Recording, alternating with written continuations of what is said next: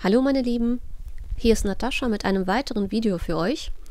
Heute blicken wir etwas in die Vergangenheit zurück, denn wir machen heute zusammen die Wochendeko 37.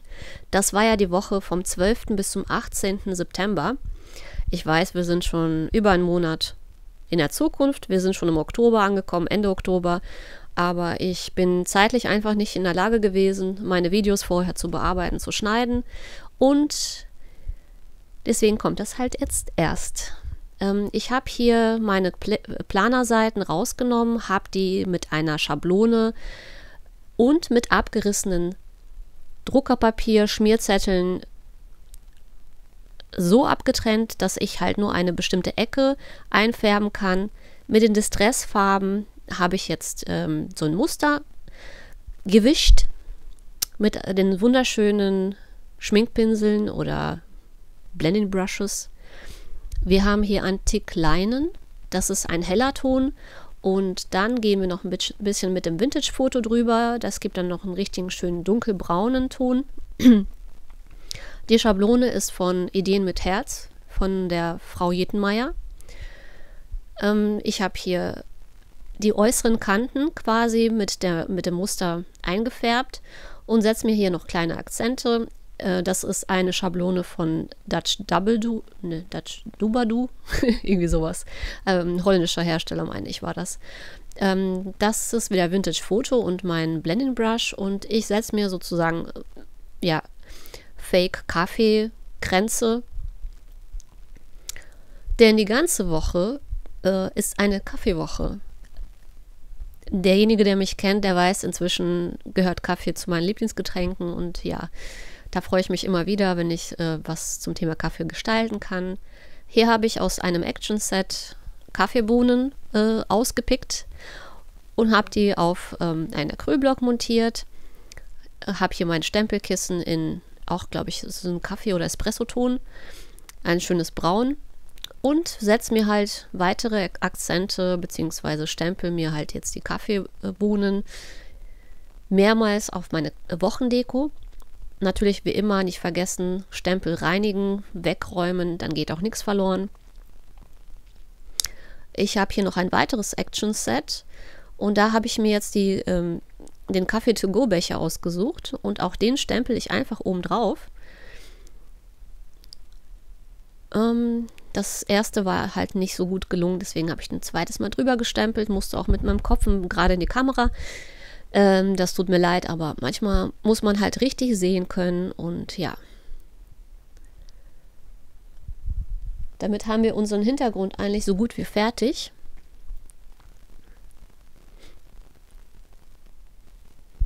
Ich habe jetzt nur noch einmal einen Alphabetstempel ist das, mir rausgepickt. Das ist auch wieder ein Action-Set. Also wir, wir haben ja inzwischen so viele Clear-Stamps von Action gesammelt über die Jahre und da gibt es halt wirklich so viele tolle Motive dabei. Und manchmal brauchen wir wirklich wie hier nur drei kleine Stempelchen und dann kann man seinen Hintergrund individuell gestalten, bestempeln. Das ist echt, ähm, ja, einfach getan.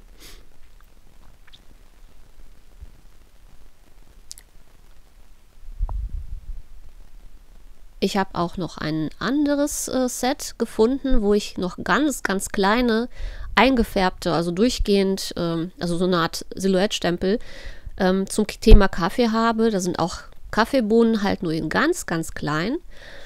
Und ja, Wiederholung oder halt äh, wie in dem Fall einfach diese Ansammlung von verschiedenen Motiven ergibt halt am Ende wirklich ein schönes Gesamtbild. Und hier habe ich noch einmal sozusagen einen Kaffeekranz.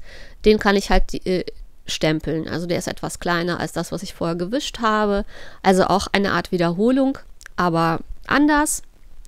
Das stempel ich hier mit Vintage Foto und das ist auch nicht so tragisch, wenn der Stempelabdruck in dem Fall auch nicht perfekt wird. Ach, das war meine Kaffeekasse-Tasse. Ähm, ja, wie gesagt, Kaffee ist einfach mein Getränk. So, jetzt haben wir alles fertig, können wir alles beiseite räumen. Ich habe mir meine Stempelhilfe äh, rausgeholt. Als Hauptmotiv habe ich mich für einen Digi-Stempel entschieden von Kenny K Designs. Leider gibt es die Firma auch nicht mehr. Aber ähm, ich weiß ja, wie das ist. Man sammelt ja über die Jahre alles Mögliche an. Äh, es gibt auch viele Stempelhersteller, die es gar nicht mehr gibt. Und ja, ähm, also hier geht es weiter mit unseren Wochenzahlen, sage ich mal. Äh, die habe ich wieder äh, aus demselben Set verwendet wie die anderen auch. Das ist, oh, wenn ich das jetzt finde, kreativ zeitlos. Eigentlich ein Babyalbum, aber ich habe ja dieses Jahr damit angefangen und habe auch den Stempel Woche aus diesem Set und stempel mir das Ganze halt zusammen übereinander. Da ist mir, glaube ich, auch was beim zweiten Stempeln verrutscht. Da habe ich mich halt geärgert, aber das hilft nichts, also einfach von vorne loslegen. Das ist ja das Schöne. Also ist es ja nur, sage ich mal, ein Stück Papier oder in dem Fall ist das ja Etikettier, Klebepapier. Äh, das äh, tut dem Ganzen keinen Abbruch. Dann muss man halt einmal neu ansetzen, neu stempeln. Aber auch, sag mal, diesen Fehler habe ich jetzt drinne behalten und um einfach zu zeigen, auch bei mir klappt nicht immer alles beim ersten Durchgang. Ähm, manchmal muss ich auch zweimal anfangen und wie gesagt, das ist ärgerlich.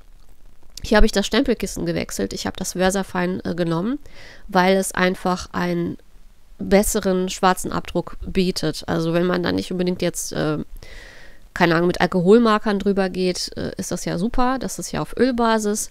Das Archival Ink ist halt etwas schnell trocknend. Also da habe ich ab und zu Probleme, wenn ich dann schwarz stempeln möchte, dass mein Ergebnis nicht so schwarz wird, wie, wie ich es gerne hätte.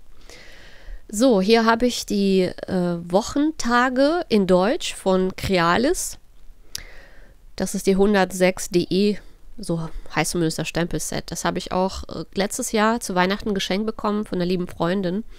Und das ist ähm, quasi mein einziges deutschsprachiges Set. Hm, ich finde, es gibt schon einige deutsche Stempel auf dem Markt, aber die gefallen mir vom Design her nicht. Oder die sind einfach viel zu klobig, viel zu riesig. Ich mag halt lieber filigrane, feine Sachen und da fehlt mir halt irgendwie das, ja, oder ich, ich bin einfach blind und sehe die nicht. Ich weiß es nicht. Also das, was ich bis jetzt entdeckt habe, hat mir echt nicht gefallen. Auch dieses Set ist relativ groß. Ähm, gut, ich schneide das hinterher aus und klebe dann halt auch in meinen Planer. Und mein Planer ist A5. Ich habe sozusagen auch die Fläche dafür da. Wäre der Planer jetzt kleiner, würden die schon mal zum Beispiel auch gar nicht passen. Hier ist mein Kreisstanzer, den benutze ich ja auch für jede Wochendeko und stanz mir halt meine, meinen kleinen Sticker aus. Hier habe ich das Ganze alles schon mal vorgeschnitten sozusagen, weil das mache ich nicht vor der Kamera. Das würde das Video noch weiter in die Länge ziehen, obwohl ich euch schon eigentlich die Videodatei in fünffacher Geschwindigkeit zeige. Ähm, ich mache mit einem Fineliner hier in Braun meine Abtrennungen. Ich teile die linke Seite in drei Teile, die rechte Seite in vier, wobei ich halt den dritten Kasten ähm, nochmal halbiere. Das ist halt mein Wochenende. Weil, sind wir mal ehrlich, man möchte auch irgendwann am Wochenende ein bisschen auch ausspannen. Da hat man meistens nicht so die To-Dos und vielleicht auch andere Verpflichtungen, die vielleicht eher der Familie verbunden sind oder Freunden. Da brauche ich zumindest keinen großen Platz. Da reicht mir die, der halbe Kasten schon aus. Ähm, aus dem Stempelset von Action, was wir vorher schon äh, einmal in der Hand hatten, habe ich mir noch ähm, zwei kleine Motive ausgesucht. Einmal ein Buch und einmal äh, diesen Kaffee-to-go-Becher. Den stempel ich jetzt auch auf Karteikarte. Wie ihr seht, auch ist das ein Reststück, weil das sind so kleine Motive. Da braucht man echt nicht viel. Und die werden hinterher ja auch genauso ausgeschnitten. Ähm, die richtig großen Motive stempeln sich inzwischen auch auf festem Papier wie Karteikarte oder Aquarellpapier, weil einfach ähm, das Ganze für mich einfach leichter ist, das hinterher zu auszumalen. So, Hier werden auch schon die ganzen Aufkleber von der Trägerfolie befreit und aufgeklebt. Ich habe erstmal geguckt, wie ich meine, meinen Wochensticker aufklebe und die Wochentage, die variieren bei mir auch. Ich äh, setze das auch immer meistens nach Gefühl. Mal in die Ecke, mal lieber nach oben. Und da habe ich auch keinen bestimmten Platz dafür. Ich, äh, ich habe ja vorher das Motiv dran gehalten. Ich weiß, dass ich das in der linken Ecke haben wollte. Oder am linken Rand besser gesagt. deswegen versuche ich halt zum Beispiel den linken Rand jetzt freizulassen und die Wochentage halt auf die rechte Seite zu, zu, zu äh, kleben, damit ich halt, ich weiß nicht, so eine Art Ausgleich habe. Das ist mein Friction-Stift, da trage ich jetzt die Wochentage noch dazu ein. Und dann müssen wir jetzt eigentlich nur noch kolorieren. Ich habe äh, dieses Mal eigentlich so, so gesehen ein, mich da jetzt irgendwie ähm, relativ einfach dran begeben. Ich habe einfach mir Aquarellstift in die Hand genommen, meinen Wassertankpinsel und habe die Farbe dann direkt vom, von der Spitze des Stiftes genommen.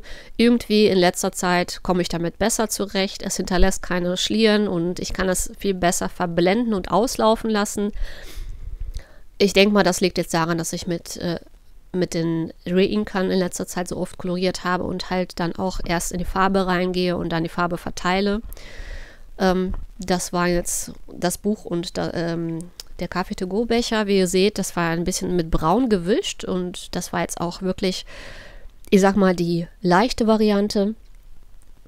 Bei dem Mädchen oder bei der jungen Dame habe ich mich dann auch, ich sag mal, ich habe die Farbe nur leicht aufgetragen. Ich habe das auch nur leicht schattiert. Ähm, man kann sich natürlich auch bei einer Koloration wirklich sehr viel Zeit lassen. Man kann auch eine Stunde oder zwei an einem Motiv verbringen. Und das wollte ich halt nicht, weil ich weiß, dass ich im Planer, ähm, der ist halt für mich, das ist keine Karte, die ich verschenke und das ist irgendwie, da setze ich nicht so viel Wert drauf. Also es macht schon Spaß, auch mal, ich sag mal, leichter oder heller zu kolorieren vielleicht nicht so viel Zeit äh, da rein zu investieren, einfach Spaß beim Malen zu haben. Und ja, dadurch, dass es halt eine Kaffeewoche ist, habe ich mich hier auch weitgehend auf, ich meine, so Erdtöne, Grautöne ähm, beschränkt. Manchmal fällt einem das Wort nicht ein. Ich wollte halt, dass das Ganze einfach harmonisch bleibt, äh, mit dem ganzen Hintergrund und so zusammenwirkt. Ich habe ja mit Beige-Tönen gearbeitet, mit Brauntönen und dementsprechend auch jetzt äh, die Kleidung, die Sh äh, Shoppingtaschen, so ein bisschen Öko-Style, kann man sagen.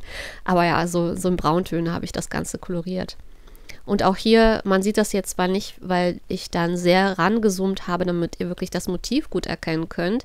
Ich nehme die Farbe wirklich von der Spitze des Aquarellstiftes und übertrage das auf mein Motiv. Bis auf das T-Shirt, das so ein bisschen bläulich ist oder so ein blaugrau wird, wird das wirklich alles so braun und das Ganze natürlich noch grau schattiert, damit es ein bisschen so ja, lebendiger wirkt, ein bisschen plastischer.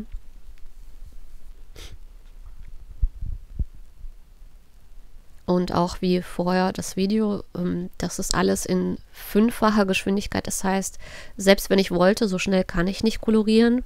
Wäre super toll, wenn man das könnte, weil er wäre mal wirklich immer fix fertig. Aber nein. Und ähm, ich weiß nicht warum, aber ich mag persönlich nicht, wenn man Videos äh, einfach mit Musik hinterlegt, weil ich kann, also ich höre gerne Musik, aber bei Videos gucken, weiß ich nicht, ist mir angenehmer, dass ich dann eine Stimme zu habe, als wenn ich dann irgendwelche Musik abgespielt wird und ich mich wirklich mit, mit meinen Augen auf das äh, Bild konzentrieren muss. Ich kann eher einer Sprache folgen und kann nebenbei was anderes machen, als tatsächlich äh, konzentriert die ganze Zeit auf den Bildschirm zu schauen, weil komme ich irgendwie mit meinen Sachen auch nicht vorwärts. Das heißt also, wenn ich selber bastle, gucke ich meistens auch Videos dabei oder eine Sendung, Serie oder ein Anime oder irgendwas in der Art. Ja. Und ich glaube, man macht ja auch seine Erfahrungen und mit der Zeit äh, merkt man halt, was man selber persönlich mag und was nicht. Und ich möchte halt meine Videos so machen, wie es mir gefällt, womit ich mich wohlfühle und ja. Hier war auch schon der weiße Gelstift im Einsatz. Ich habe noch die Augen quasi, äh, die, das Augenlicht nochmal betont. Und hier kleben wir auch schon die fertig kolorierten und ausgeschnittenen Motive mit unserem Flüssigkleber. Das ist mein Tonic Studios Techie Glue. Ähm, auf die Seiten auf. Wie gesagt, das Motiv ist relativ groß, deswegen war für mich auch vorher schon klar, außer diesem Mädchen wird auf die linke Seite dann nichts mehr draufkommen. Und damit der Ausgleich halt da ist und nicht nur die linke Seite schön ist, wollte ich dann halt auch ein paar kleine Motive auf die rechte Seite setzen. So ein bisschen mein Wochenende quasi betonen. Ja, das Ganze nur noch in Planer reingesetzt und wir sind fertig. Ich hoffe, das Video hat euch gefallen und ich versuche mich dran zu halten und das nächste Video bald schon wieder hochzuladen. Äh, das wird kein Planer-Video äh, werden, das wird eine Karte bzw. zwei Karten. Ich freue mich auf euch und ich hoffe, ihr freut, freut euch auch auf mein nächstes Video. Bis dann, tschüss.